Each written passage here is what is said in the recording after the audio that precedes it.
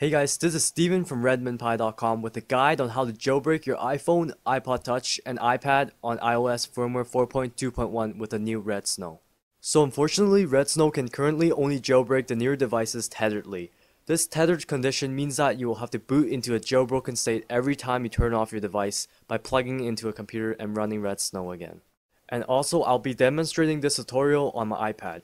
Remember that a written guide and all downloadables for both Windows and Mac are available in the description below. Step 1.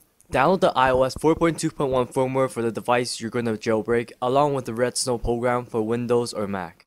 Step 2. If you haven't already, get iOS 4.2.1 on that device. You can update or restore inside iTunes with the same file you downloaded earlier.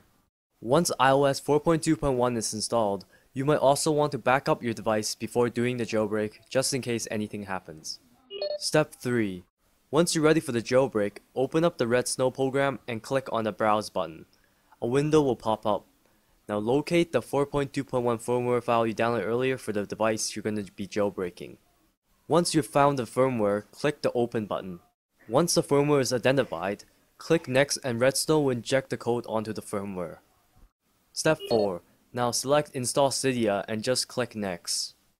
Step 5. Redsn0w will now ask you to put your device into DFU mode. Before you click Next, make sure your device is both turned off completely and plugged into the computer.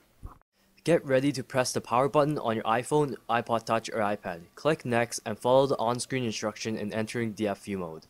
If you're having trouble, restart your device and try again.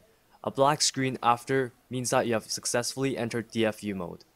Redsn0w will now proceed with the jailbreak. Sit back and enjoy Redsn0w doing the rest for you. Once done, your iPhone or iPod Touch will start automatically. Step 7. When your device first start up, you might notice that Cydia is crashing every time you try to launch it. This is because of the tethered jailbreak. So to fully activate the jailbreak, start Redsn0w and do the same steps again. Instead this time, tick just boot tethered right now and click next to do the process again. Now you'll see your device booting up with a pineapple logo to show that it is in a pwned state. And Cydia is now fully working. Alright, so that is how to jailbreak any iPhone, any iPod Touch, and any iPad on 4.2.1. Thanks for watching this video. If you like this video, consider subscribing and make sure you check out my channel. This is Steven from RedmondPie.com and I'll see you guys in the next video.